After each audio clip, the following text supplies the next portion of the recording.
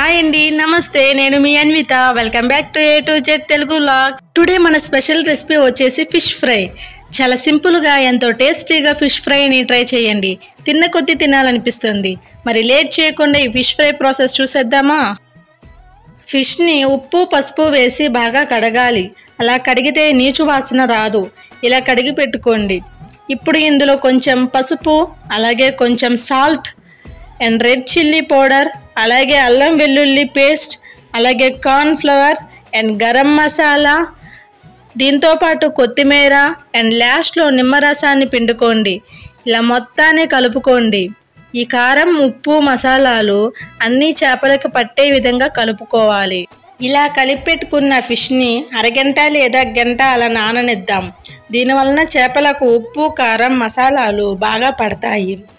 ఇక్కడ నేనైతే ఒక గంట నాననిచ్చాను. ఇప్పుడు వీటిని ఫ్రై చేద్దాం. ఒక వెడల్పాటి ప్యాన్ తీసుకొని అందులో కొంచెం ఆయిల్ వేసుకోండి. ఆయిల్ వేడయ్యాక మంటను మీడియం ఫ్లేమ్లో పెట్టుకొని ఫిష్ పీసెస్ని వేసుకుందాం. వీటిని మీడియం ఫ్లేమ్లోనే మూడు నిమిషాలు బాగా ఫ్రై చేయండి. మూడు నిమిషాల తర్వాత మరో పక్కకే టర్న్ చేసుకుందాం. ఇలా రెండు సార్లు టర్న్ చేసుకుంటూ ఫ్రై చేసుకోవాలి. ఇలా రెండు మూడు సార్లు టర్న్ చేసుకుంటూ ఫ్రై చేసి ప్యాన్ నుండి ప్లేట్లోకి తీసుకోండి.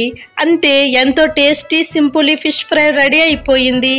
చూడండి ఎంతో సాఫ్టీగా ఫిష్ ఫ్రై రెడీ రెడీ అయిపోయింది. దీనిని ఇలా వేడివేడిగా తింటే ఆ మజానే వేరు. ఫ్రెండ్స్ మీకు ఈ టేస్టీ ఫిష్ ఫ్రై నచ్చిందా?